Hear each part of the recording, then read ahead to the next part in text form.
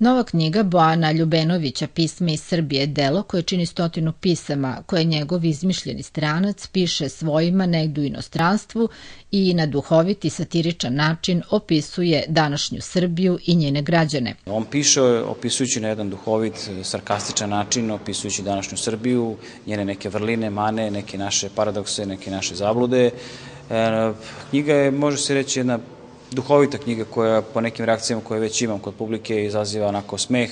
Posebno su za knjigu zainteresovani ljudi koji ne žive trenutno u Srbiji, onako posjeća ih valjda na neke, neke stvari koje su odavde i pomalo ih zaboravili.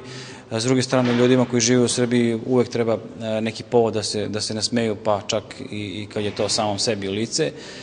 Kažem, jedna satirična knjiga koja ima zadatak da, da onako na satiričan način ubode u neka bolna tkiva ne kažem samo srpskog nacionalnog bića, već i onako svih ljudi koji žive kod nas, a s druge strane da nasmeje malo čitaoca, jer ja duboko verujem da je smeh preko potreban svima nama u ova vremena i mislim da će to ljudima ova knjiga i da pruži.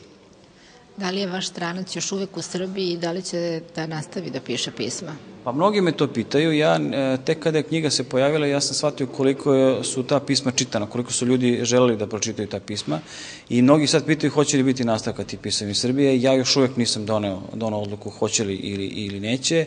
E, taj stranac e, u poslednjem te nekom pismu, on kao umire u Srbiji, pa onda objašnjava šta se dešava posle njegove smrti, kako ga Srbi naravno glorifikuju, pošto svako ko umre mi glorifikujemo, dok je živ ga baš i mnogo i ne cenimo. E sad, hoću li ja njega živeti u narednim mesecima još uvek ne znam, moguće da da, jer još uvek postoji mnogo tema koje taj stranac nije dotakao, a koje su onako tu pred nama na dohvat ruke i prosto bih možda bilo šteta da, da se ne opišu i da, da se to ne dotaknu. Po rečima autora, cilj mu nije bio da nasmeje čitaoca, ali od smeha se u ovoj knjizi ne može pobeći. Od kada otvorite knjigu pa sve do poslednje stranice, osmeh vam ostaje na licu.